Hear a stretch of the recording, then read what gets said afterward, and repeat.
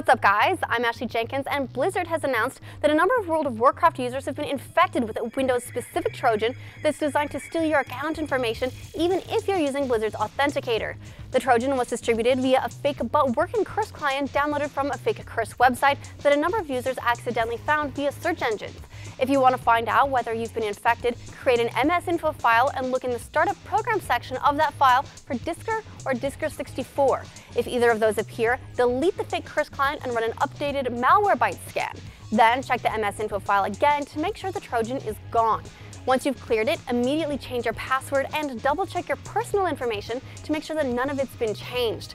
Continuing Blizzard's rough day, they've also decided to delay the next phase of their Hearthstone beta test, Season 2, due to some sprite issues that were discovered during yesterday's beta maintenance.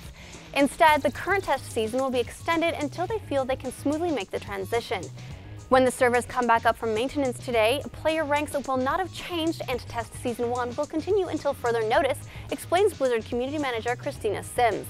They've already run into a few extra bumps with testing and last month announced that their open beta would be delayed into the new year, though they've also assured gamers that anyone who signs up by January 7th will gain access to the closed beta prior to its move into open beta. Next up, sharp-eyed gamers may have noticed that Fallout, Fallout 2, and Fallout Tactics were removed from online stores like Steam at the end of 2013, but Bethesda's announced that they intend to reinstate them as soon as possible. When Bethesda obtained the Fallout IP in 2007, previous owner Interplay retained merchandising rights that allowed it to sell the previous games in the series and also retained the rights to create a Fallout-branded MMO. In 2012, Bethesda filed suit against Interplay seeking cancellation of the license on the grounds that Interplay had failed to meet the conditions for the license, rendering it invalid. In the end, Bethesda became the full owner of all Fallout IP, and Interplay's license to sell the previous Fallout titles expired at the end of 2013, which is why it was removed from stores.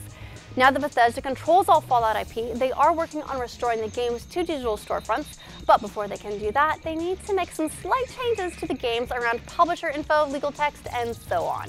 Those who already own the Interplay versions of the games won't be affected by the change. While we're talking digital storefronts, the US 3DS eShop has been updated with a new demo for upcoming RPG Bravely Default, which allows you to play through a side quest unique to the demo that won't feature in the final game. Those who play the demo will find their character progression will carry over to the retail release, which is due out in the US on February 7th. The game is already available in Japan, Europe, and Australia. Thanks to its presence in other Western markets, it's also been confirmed that some of the skimpier costumes have been modified to show a bit less skin. In one costume, a bikini bottom and bra-like top are replaced with short shorts and a larger bandeau top. And in another costume, where the original character is covered almost exclusively in straps, the Western version adds a black bodysuit underneath. Some of the characters have been aged from 15 to 18, and a few innuendos have been toned down in translation as well. Killer Instinct, Xbox One's free-to-play fighting game, has also seen a character change in a new update, but instead of making costume changes, they've switched out the free character, Jago, and replaced him with Sabrewulf. Microsoft has previously announced that they intend to rotate the free fighter between the available characters, and this is the first switch since the game released on November 22nd. When you download the game, you get access to one character for free, and you can wait until they rotate to try new ones or purchase additional characters for $4.99. The full set of characters is available for $19.99. The new update also provides save data fixes, toast options, a new character select option in the local versus pause screen, updated command list, and updated accessory menu screens, as well as other tweaks and fixes. Finally, Respawn has confirmed that the PC version of Titanfall will not have mod tools at launch, and they'll evaluate after launch whether to implement them at all. When asked about the tools, Respawn founder Vince Zampella replied, not at launch for sure, we'll have to evaluate after launch. Earlier this week, Respawn also confirmed that sniping will be a part of the game, but those expecting to use quick scoping and no scoping will be disappointed. Sniping is in the game, but due to how the game plays, it's a pretty different animal than you'll find in your run-of-the-mill modern military shooter. Quick scoping and no scoping are ineffective, shares a Respawn dev who goes by the moniker Scripticus.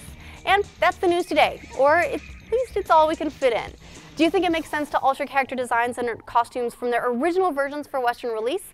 Or would you prefer to play it as it was originally designed? Let us know in the comments below. Then check out roosterteeth.com where we've posted a new episode of our gaming podcast, The Patch, to kick off the new year.